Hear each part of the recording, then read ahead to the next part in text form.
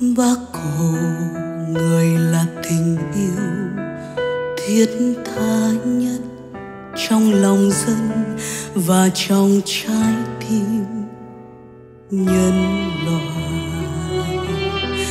Cả cuộc đời bác chăm lo cho hạnh phúc nhân dân. Cả cuộc đời bác hy sinh cho dân tộc Việt Nam. Bác thương các cụ già xuân về gửi biếu lụa.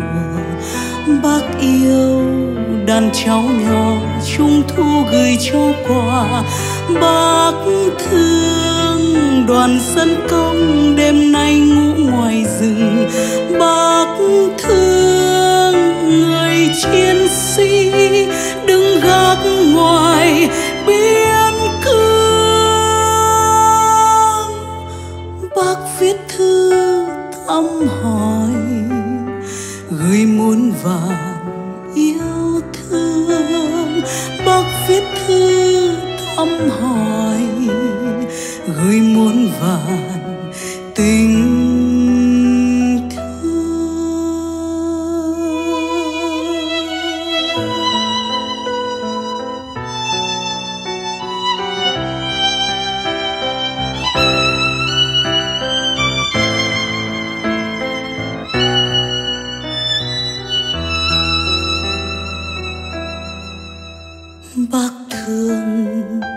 cụ già, xuân về gửi biếu lụa. Bác yêu đàn cháu nhỏ, trung thu gửi cho quà.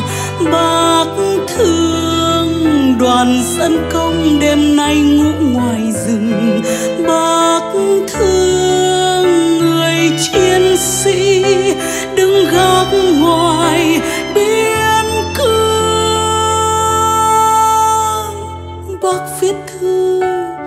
thăm hỏi gửi muôn vàn yêu thương. Bác viết thư thăm hỏi gửi muôn vàn tình thương. Bác hồ, người là tình yêu thiết tha nhất trong lòng dân và trong trái tim nhân loại. Cả cuộc đời rất thanh cao, không gợn chút riêng tư.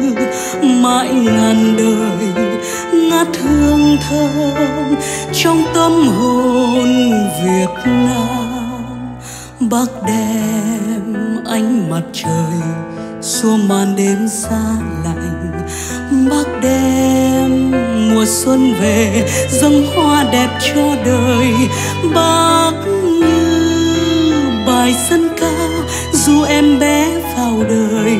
Bác như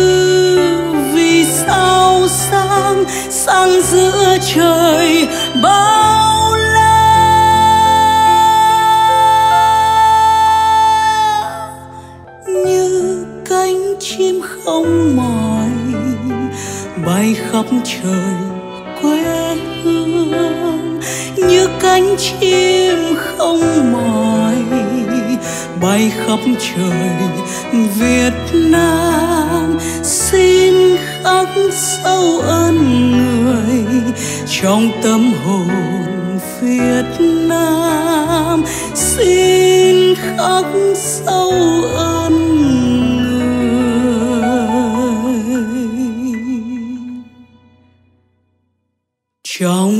tâm hồn